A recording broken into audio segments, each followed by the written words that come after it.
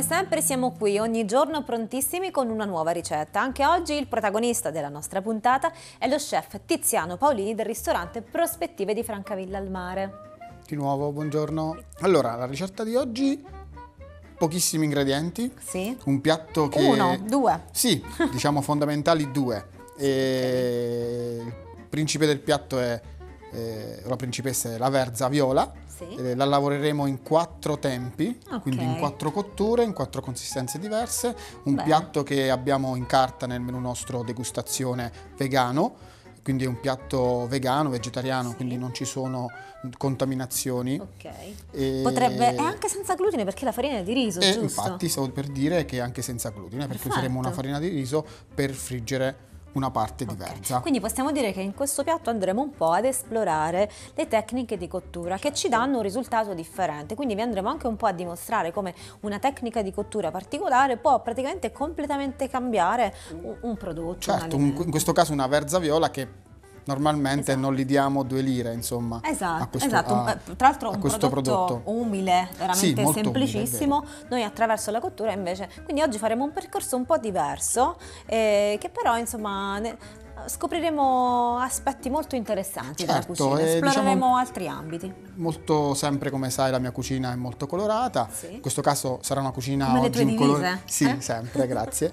Eh, un, un piatto tono su tono, quindi cercheremo di mantenere sempre lo stesso colore Ok. con delle tecniche di cottura e quindi gli ingredienti sono semplici, una verza viola, della farina di riso, aceto, vino bianco, Ok. aceto di mele e vino bianco, dell'acqua gassata fredda. Benissimo, allora spiegaci un Vi po' queste spiego- quattro consistenze. Certo. Allora, la prima è la più semplice, con una mandolina andiamo a fare un'insalatina, quindi tagliamo Ok. un trancio di verza, la passiamo a mandolina la più sottile possibile, Ok. la sciacquiamo 4-5 volte per comunque togliere quel sapore un po' forte della verza e poi la, la manteniamo in acqua e ghiaccio Ok, per mantenere il colore. per mantenere il colore e la croccantezza. ok, quindi la lasciamo semplice. 5 minuti, poi la dobbiamo comunque rendere piacevole al palato, la togliamo dall'acqua e ghiaccio, una ciotola, vino bianco, aceto, Ok. mescoliamo un po' d'olio, un po' di sale e la chiudiamo con una pellicola, li facciamo partire una fermentazione. Ah, ok. una decina di minuti,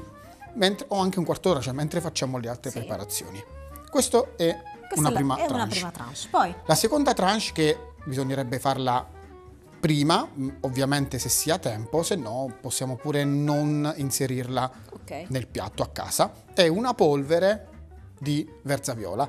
Quindi dobbiamo prendere le foglie di verza, le sbollentiamo in acqua, shock termico con Sì. acqua e ghiaccio, così manteniamo il colore, e le passiamo in forno come la ricetta scorsa dei Quella dei pomodori, pomodori, ok.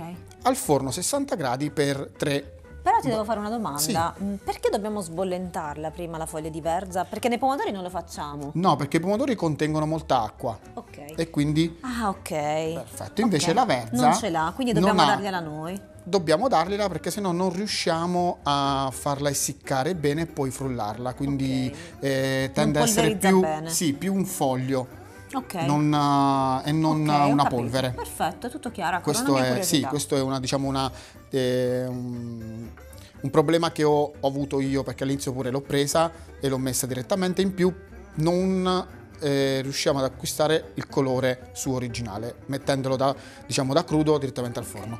Perdiamo molto colore. Invece Ok. sbollentata, shock termico, manteniamo più colore possibile. Perfetto. E Questo- questa è la seconda. E la seconda, che facciamo? Una volta seccata, eh, all'incirca sempre 3-4 ore, la andiamo a polverizzare, facciamo una polvere e la mettiamo da parte. Da parte. Un altro spicchio la eh, ehm, inseriamo in una busta se abbiamo sottovuoto per cottura, Sì. un po' d'olio, un po' di sale, la, metti- la immergiamo in acqua bollente per mezz'ora. Se non abbiamola, questo noi lo facciamo al ristorante per mantenere sempre più possibile Ok. eh, i valori nutrizionali del prodotto. Se non abbiamo eh, una busta sottovuoto, la immergiamo normalmente in acqua di cottura senza nulla Ok. e con quell'acqua, Sì. ovviamente una volta cotta, la sempre mettiamo in acqua e ghiaccio per Per mantenere, mantenere il colore. colore. Questa è un'operazione che facciamo sempre. sempre, la andiamo a frullare con quell'acqua di cottura. Ok. Quindi otteniamo una, una specie di purea. Faremo una crema, sì, Una crema, una crema ok. con la verza ed è la terza, terza. consistenza. E la quarta. La quarta, che diciamo che poi è il- la protagonista. protagonista. Sì. E questa verza sempre cotta, Sì. una parte la frulliamo, come ho detto prima, una parte la lasciamo per poi passarla in questa pastella E friggerla. e friggerla. E E, wow. come sai benissimo che io con la tempura io ho un debole per, per la frittura e quindi c'è anche eh, la parte del fritto. Allora facciamo così, visto che le prime tre parti le abbiamo dovute anticipare un po' Sì. per tempi televisivi, ci fai vedere quest'ultimo passaggio, che è quello più interessante. certo.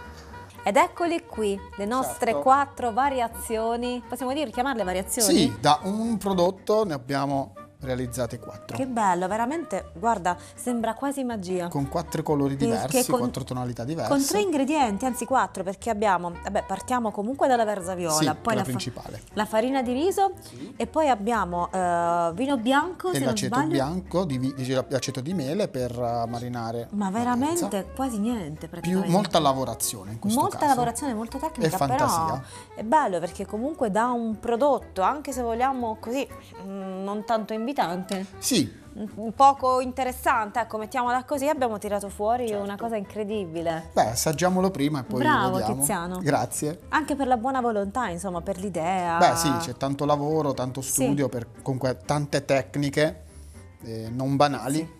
Eh sì, lo stavamo dicendo proprio prima eh, che veramente in cucina è importante sperimentare perché questo consente anche un po' di farci capire fino a che punto possiamo arrivare. Anche a casa possiamo farlo, perché sì, no? Questo Poi deve questo avere un po' di pazienza magari per sistemare, per pulire se combiniamo qualcosa di un po'. Anche, anche, anche. Allora dai, sono Allora, curiosa. facile facile. Adagiamo Questa la è la nostra polvere. polvere. Ma quanto è bella, che bel colore. Questo perché C'è ti un- dicevo, Un viola super fashion. sì. Ok. Poi mettiamo Tutto naturale, senza coloranti, nostra. incredibile. Verza. Ok. L'insalatina di verza. Che abbiamo fatto leggermente fermentare, Sì. giusto? Ecco, mi ricordi la fermentazione che abbiamo aggiunto? eh, aceto e vino, Aceto giusto? e vino, un po' di olio e un po' di sale alla fine per dare comunque un po' di sapore.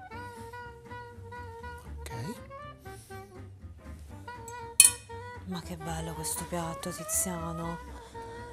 Manca un elemento però. Eccola, Sì, la nostra crema la possiamo nostra chiamarla. sì. crema.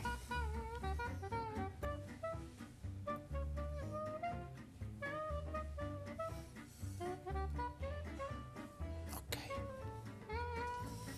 E infine mettiamo sempre che ci Di aglio, bene. giusto? Sono Questo questi? di aglio, sì. Sì, che a me piacciono tantissimo. E ci stanno proprio bene. Vanno proprio assaporati. Jennifer, ci Beh, siamo. devo dire che questo è un piatto mm, dove c'è tanta tecnica, forse è tutta tecnica, però eh, voi sapete io tengo molto a fare piatti che sono rifacibili a casa e questo devo dire che alla fine può essere rifatto a casa perché non ha bisogno di strumenti particolari. Ovviamente non è un piatto veloce, non è un piatto, però ci tenevo particolarmente a, a parlarne perché veramente ne valse la pena. Sì, diciamo un piatto con tanta tecnica, però per chi ama la cucina e Sì. a casa comunque vuole fare un piatto diverso con Esatto. questo prodotto. Cioè dimostra come un piatto può essere anche molto economico, perché Sì, questo fondamentalmente sì. questo, è veramente economico. Sì, cioè- c'è solo il Cioè, tempo. una la- verza, sì, una verza e, e riusciamo a fare una cosa del genere, quindi questo è, quanto. veramente. E questa è la cosa Semplice. che più mi piace. Semplice, tra virgolette, perché comunque, Sì. ripeto, c'è tanta tecnica, Tanta però tecnica. eh, tecniche che a casa si possono rifare senza problemi. Non abbiamo usato strumenti strani, solo giuste tecniche di cottura e di mantenimento del prodotto. Bello, colorato, veramente non manca nulla. Complimenti al nostro Grazie, chef Tiziano gentili. E grazie a voi per essere stati insieme a noi anche oggi. L'appuntamento con Chef in Cucina è quotidiano. A domani. A domani. I legumi è un alimento d'eccellenza. Hanno alto contenuto sia delle proteine che di carboidrati. In più contengono la fibra insolubile che regola livelli di glucosio e di colesterolo nel nostro organismo.